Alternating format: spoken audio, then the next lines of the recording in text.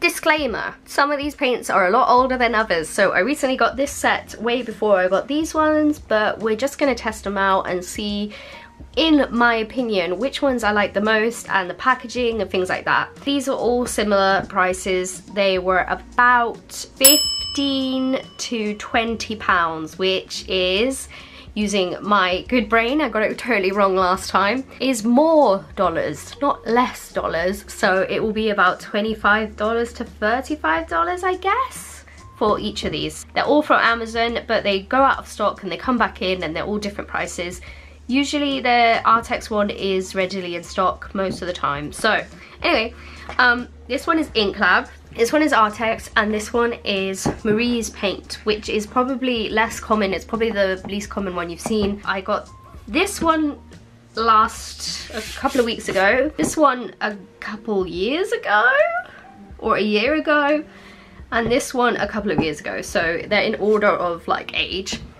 So let's just open them up. This one has like a chocolate lid, which I like to call it because it does look a bit like a chocolate bar. I like to refer to these as foods because I just think it's like satisfying, but yeah.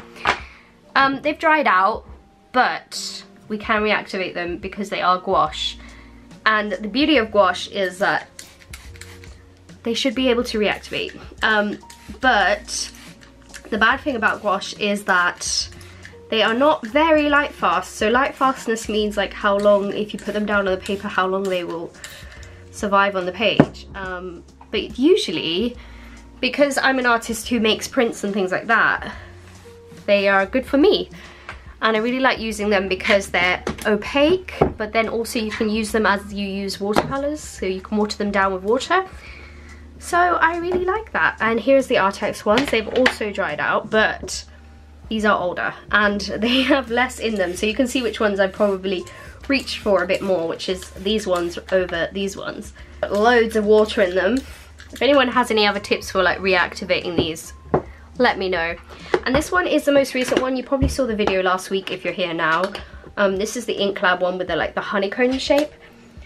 And this one comes with a palette. This one comes with a palette as well, but I don't know where I've put it. But this one also came with paintbrushes and it has a little stand for your paints. This one's also cheaper than these ones. But what I found when using them was that these were a little, like a tiny bit more oily. Like the consistency was a tiny bit more oily than these ones. These two are very similar, I have to say. But as you can see as well, I don't know if it's the packaging or what it is, if I've reached for this one more, but this one seems to be a little bit more dried out than this one.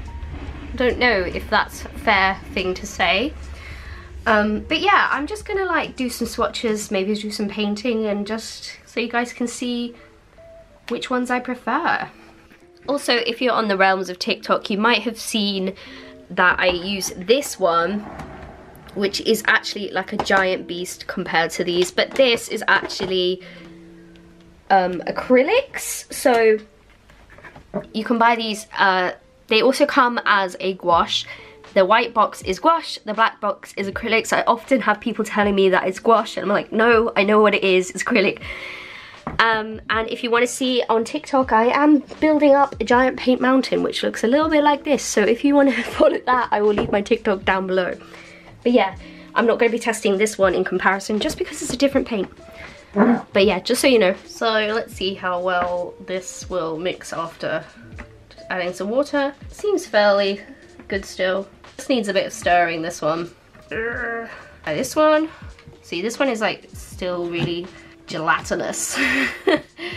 I think it needs more water actually even. But yeah, it's looking fine. It's still usable even though it's a few years old. Everyone always tells me, they watch these videos and they always say, oh, the problem is that they're not airtight and they won't, they'll dry out really quickly. And it's like, I, I don't know how many times I've said that they don't really do that, like unless the box is broken or something. These dry out just because of time. But as you can see, somebody said in the last video that this one would dry out and these are still really not dried out. Um, bear in mind that these are really old, so yeah, of course they're gonna dry out a little bit over time, but I, I don't think that's the packaging's fault. I think that's just the way of time. I just have to repeat myself a lot and I know everyone's different and I'm not directing this at you. You're probably a very nice person whoever's watching this right now.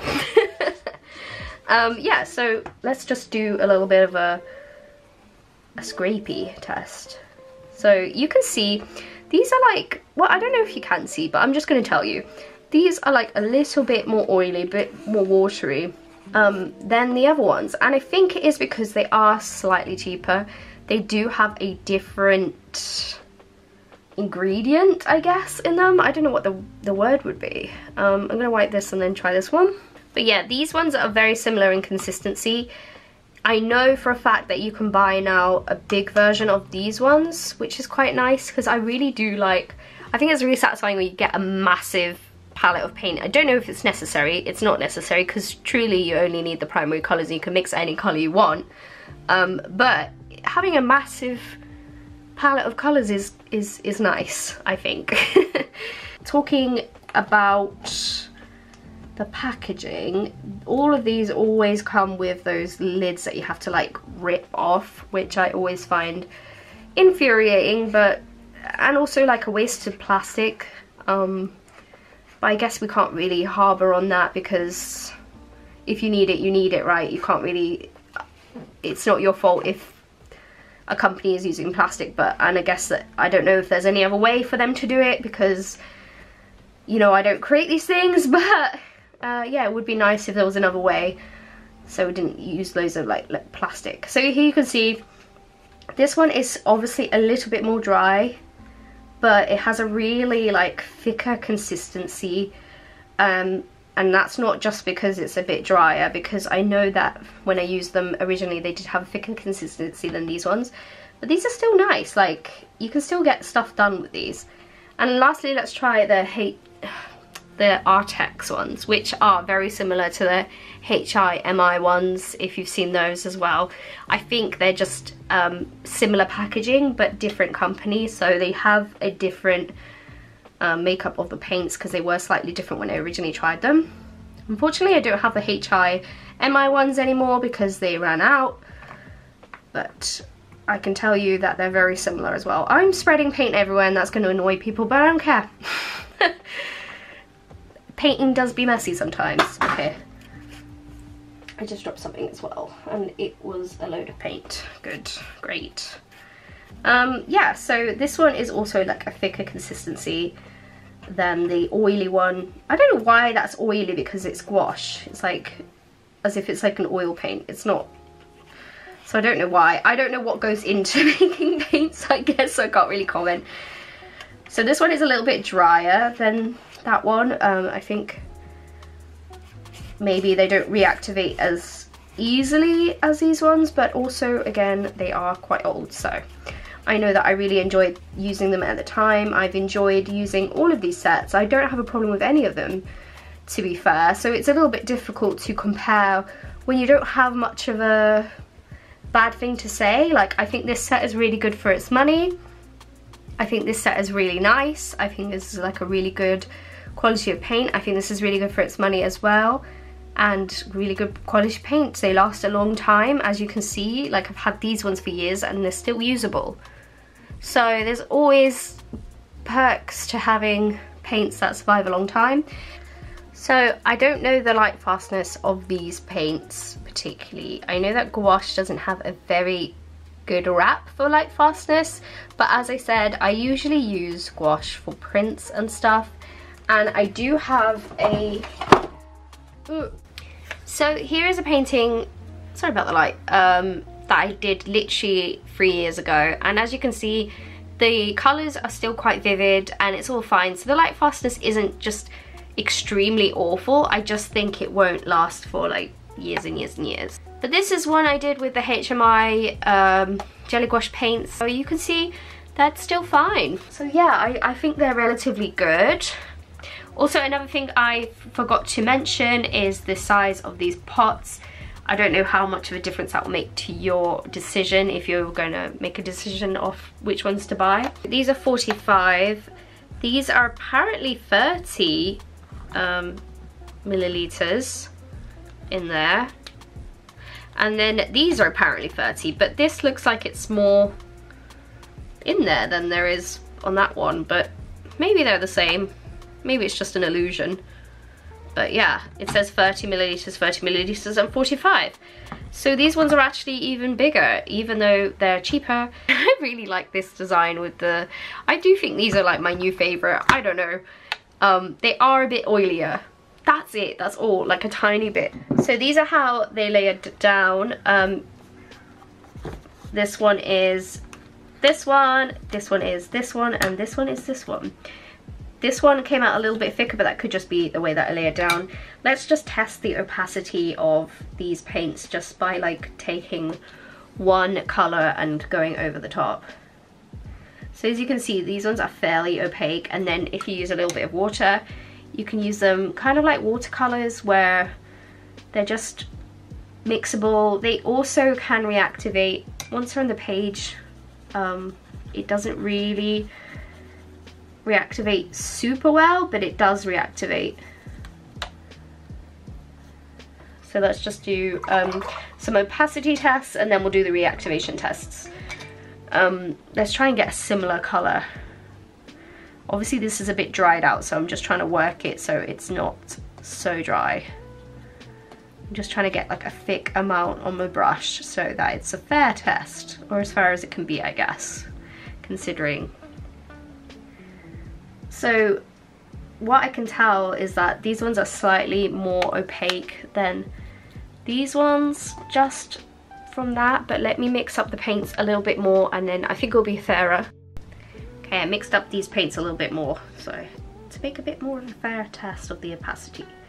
So there you see like the opacity or the opaqueness rather of this is still really really good. Um, it covers it up super smooth so if you're like me and you make mistakes in your artwork like I do then it's good to know that you can just be like nope erase that mistake with some opaque paint and I think that's why I always really like gouache because compared to watercolors it's more forgiving um, yeah as you can see, this one's also super opaque. So they're all really nice consistency. I would actually say excuse the train, that this one, even, even though it's like the freshest set, it's still weaker than these ones in regards to like opacity. So that's something to think about. Also, another thing that I want to mention is that this one comes with two whites. And so does this one.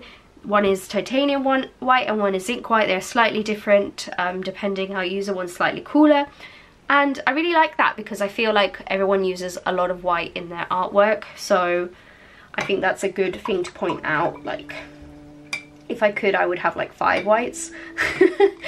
Uh, or like a massive pot of white would be really really satisfying.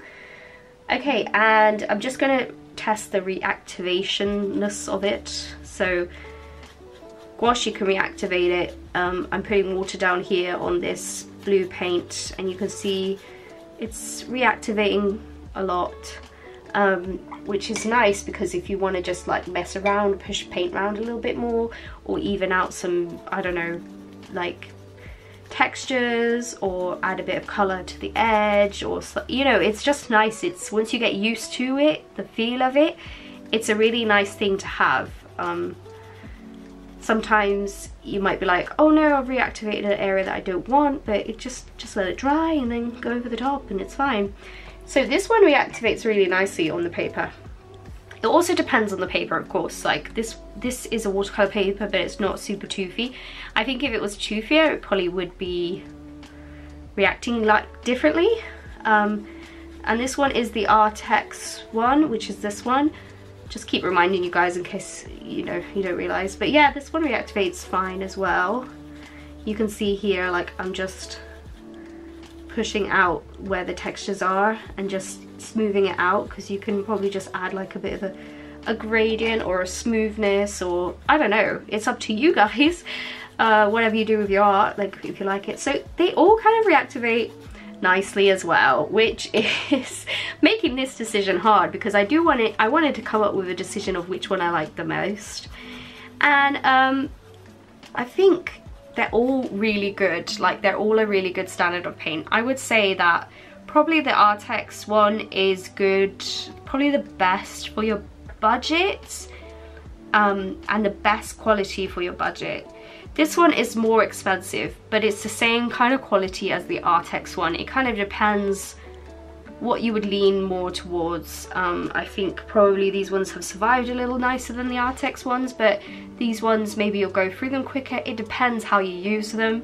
These ones are super nice. I like these. These are great. They come with paintbrushes and they come with um, these little stands and a big palette which is really nice as well. And it's making the decision hard but these are slightly slightly slightly oilier but they are the cheapest. So I don't know. If you want a really cheap one that's a good set this is great. If you want Old Faithful and a cheap set this is good. And this one is really good as well. Just slightly more expensive um, but stayed a little bit fresher than the Arrtx one for longer. So I guess I don't really have a decision for you guys. I'm really sorry.